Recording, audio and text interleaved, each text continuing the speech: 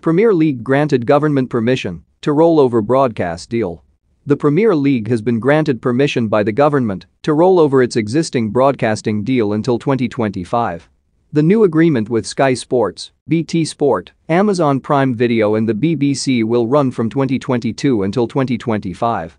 Ordinarily, the Premier League would have had to open bidding for its rights when its existing deal expired at the end of the season.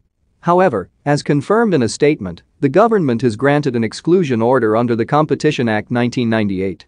The move is a temporary measure in response to the COVID-19 pandemic.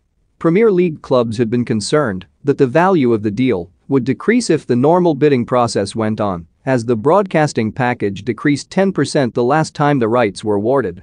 Those fears have been staved off, though, but broadcasting companies have been instructed to keep their prices the same to protect consumer interests. As part of the deal the Premier League will also maintain its commitment to supporting the grassroots game.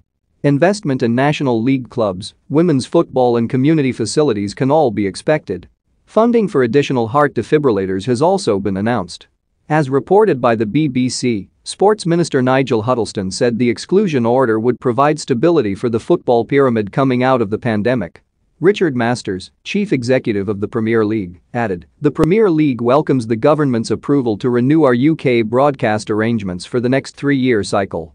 This allows us to commit to increasing our support to the football pyramid and communities for the next four years, which is vital following the significant impact that COVID-19 has had on football. We will work with our football partners to ensure that this investment helps the